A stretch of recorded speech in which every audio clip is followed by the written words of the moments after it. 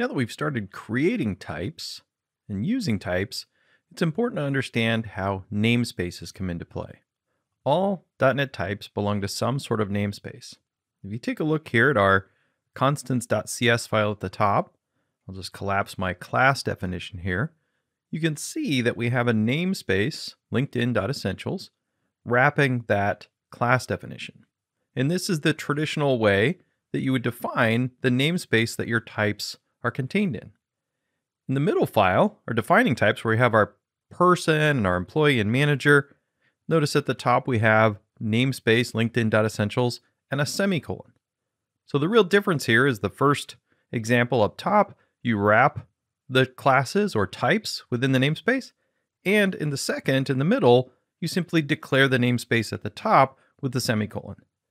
That one, as you can see from the comment, is new in C Sharp 10, and it essentially came about because most people define one type per file, and even if they don't, all the types in a given file are probably in the same namespace. That's part one. We've declared the namespace that our type belongs to. But the other piece, and we've skipped over this a bit in our earlier examples, shows up in the bottom pane in our program.cs. Here I've got on line two a namespace declaration saying I'm using the LinkedIn.essentials namespace. What that means is bring that into scope and any types that are defined in that namespace should be available without having to be fully qualified. So our constants that we used before on line four shows up and works just fine. Now, if I comment this out, we'll get an error. And we saw this in an earlier example when we were using the command line compiler. We got an error that it couldn't find system. So here it's saying, well, I don't know what constants is. It's not currently in scope. But I can copy linkedin.essentials here, paste that at the beginning, get rid of the semicolon,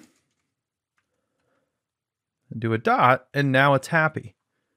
And this shows that the type name is actually made up of both the namespace and the type name. So you can think of this as the fully qualified type name for our constants type, the linkedin.essentials.constants. If we go down to the program.cs and I try and do a console write line, maybe I'll write out that DB string there. This is where we saw that problem before because console is actually in the system namespace. Normally, I would have to do something like this. We see we don't have any problem with that. In fact, I could also come down and use system.console. It does tell me then by dimming or graying out line 3 that I don't need that using statement because I'm fully qualifying it. What's happening here again is something new in C Sharp 10 and .NET 6 where we have namespaces that are automatically in scope.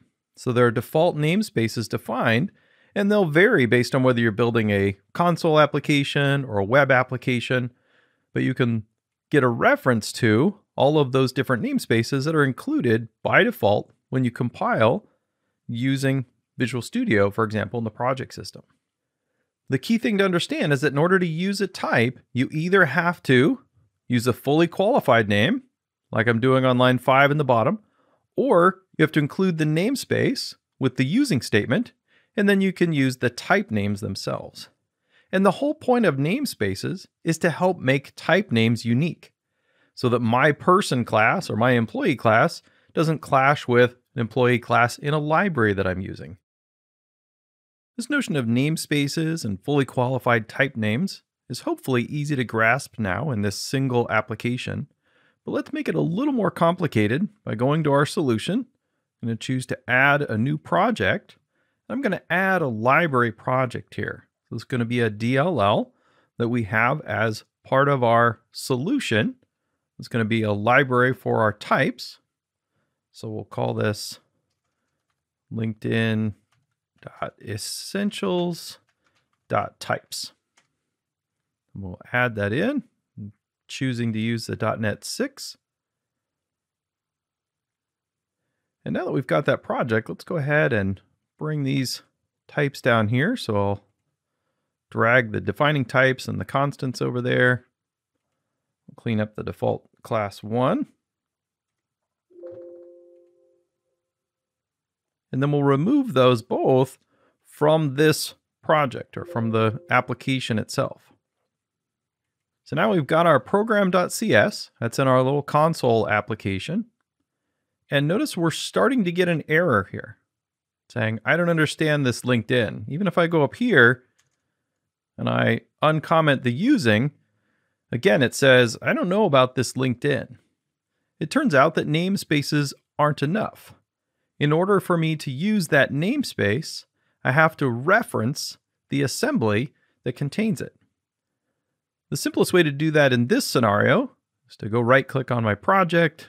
I can add a project reference and then it'll show me my projects and I can select that particular project.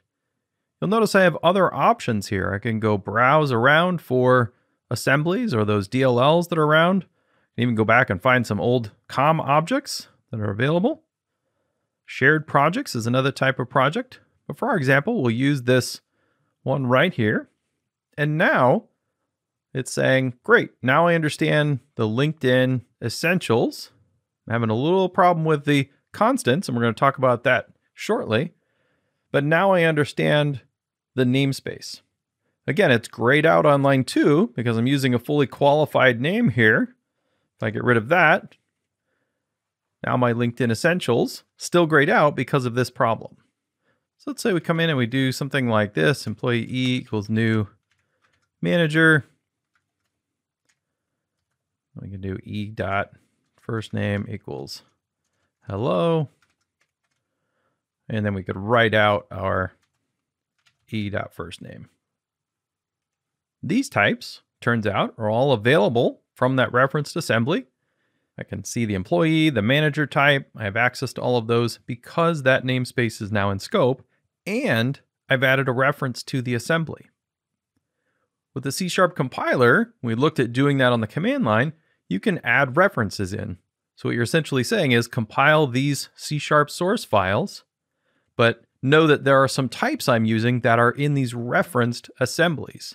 And the compiler then knows where to go and look for those to understand how to compile your code. Another common way that you're going to add a reference is you're going to use NuGet, as I mentioned before. So if I come to the project, go to the manage NuGet packages, again, these are things you can do on the command line, or you can do them in your IDE. So maybe I'll choose JSON here, and I'll get the very popular newtonsoft.json, and I'll choose to install that. So now I'm installing a NuGet package. And what that means is it's going out to NuGet.org, downloading the package file with all the metadata, all the versions we saw. It's installing it into my program here. I've got a particular version installed. And then if we go to the project and expand this dependencies, so we have a packages node, and there's that newtonsoft.json. If we go to the projects node, we'll see our project. We can see the different references that we have. And now I could do using newtonsoft.json to bring that namespace in. I'm not currently using any of the types there, and so it doesn't necessarily need that using statement. So I could do a JSON serializer. Say I want a new JSON serializer, and then I could say S serialize, and it wants a writer and an object. Or I could go out and get a text writer. So we can go and say, let's write out to console.out and let's pass our, remember that when I tried to use that constants from my LinkedIn essentials, I don't have any properties there. If I look at the error from the compiler, it says it's inaccessible due to its protection level. In addition to the namespace being in scope, the reference being there, I also have to make sure that the accessibility that I've defined opens up my type to all the users I want or locks it down to those that I don't. We were able to use employee and manager, so you can see there's a difference here. I have a static class constants. We open our other classes, notice these, including the interface, all have public as the access modifier at the beginning, meaning that they're accessible within this library to derived classes, and even outside this library. Public essentially opens it up to anything that has a reference and has the namespace in scope. Constants, on the other hand, has no access modifier. And so for a class, a record, or a struct, the default is internal. That means that it's accessible within this set of compiled together files or within my assembly. So I should be able to go into my defining types, go into a method here, maybe the is active. I could go use the constants. You can see there's all the different properties there. So maybe I want to get the config server name from that and I can use a string server equals because I want to use that here in my code for some reason. Being internal, constants is then available to all the different types inside this library that we're building. If I go back, you can see I have the private static string connection string. That's private, which means it's only available within this static class. So if I come back out here now and I try and use the constants dot connection string, it's not there. We could try typing it out. Got a lowercase c, that's why I'm getting that error, but we'll see if we type it right. It will say that it doesn't exist, or it'll give me the error that says that it's inaccessible. Private then means it's accessible within that type itself. So we've got public, accessible to all, private, accessible just within that scope or within that type, and then internal, meaning available within our library. And the other one you'll commonly see is protected. So maybe for this public bool is active, we'll change this to protected. And what that means is it's accessible from this type or derived types. So if I go back out to my program here, we'll save everything to pick that up. I've got that employee that we've defined. Let's go ahead and see if we can call is active. Nope, we get an error. Again, it's inaccessible. We're in a different library. We can't use it here, but we can if we go to the defining types because it's defined in our employee class. We can use the new down here in is active, or we can, because we're in a derived class, we can say base is active. Protected items can be accessed from those derived types. There are some other combinations you can use, such as protected internal, which is really about combining those two things. So derived classes or internal types. So anything within the assembly, for example, or derived classes within the assembly or from another assembly that maybe references and uses your class as a base class. And private protected, that gives you both private, so within the class, as well as protected in classes that derive within your same assembly. This lets you control the accessibility of those methods and properties on your types to lock down the state or the functionality to only those types that should be able to use it. We'll go out here to our program and fix that so everything continues to be happy. I mentioned that one of the purposes of namespaces is so our types don't clash. Let's go over to our LinkedIn Essentials types. I'm going to add a new class. I'm going to call it manager.cs. Notice that by default, I get a bunch of using statements up at the top. They all gray out because we're not using them. And then I get an internal class. So let's make it public called manager. And it's in the LinkedIn Essentials types namespace. Our other manager class over here is in the LinkedIn.essentials namespace. So if I go to program and I say I want to create a new manager, by default, because I have the LinkedIn Essentials namespace here, it's perfectly happy. But what if I'm also using the LinkedIn Essentials types namespace? Now I have a problem because manager isn't clear. Is it the types.manager or is it the essentials.manager?